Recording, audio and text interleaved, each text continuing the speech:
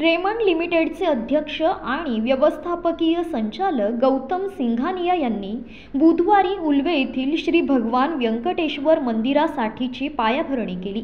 या कार्यक्रमाला माजी खासदार लोकनेते रामशेठ ठाकूर आमदार प्रशांत ठाकूर आमदार महेश बालदी आमदार मिलिंद नार्वेकर तिरुमला तिरुपती देवस्थानचे कार्यकारी अधिकारी जे श्यामला राव अतिरिक्त कार्यकारी अधिकारी व्यंकय्या चौधरी भाजपचे ज्येष्ठ नेते वाय टी देशमुख भाजपचे पनवेल तालुका अध्यक्ष अरुण शेठ भगत पंचायत समितीच्या माजी सदस्या रत्नप्रभा खरत गव्हाण ग्रामपंचायतीचे माजी उपसरपंच विजय खरत माजी सदस्या योगिता भगत किशोर पाटील वहाळचे उपसरपंच अमर म्हात्रे जयवंत देशमुख हेमंत ठाकूर सुहास भगत शिवसेनेचे रुपेश पाटील यांच्यासह मान्यवर उपस्थित होते.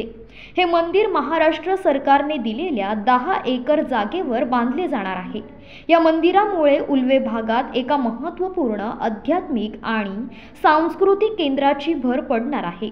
भारताच्या पश्चिम भागातील जे लोक आंध्र प्रदेशातील तिरुपती मंदिराला भेट देऊ शकत नाही अशा भगवान व्यंकटेश्वर बालाजी यांच्या भक्तांची पूर्तता करण्यासाठी हे मंदिर तयार असणार आहे. उल्वे येथील हे स्थळ आगामी आंतरराष्ट्रीय विमानतळाजवळ असून अशा प्रकारे व्यवहार्य स्थान म्हणून निवडले गेलं आहे.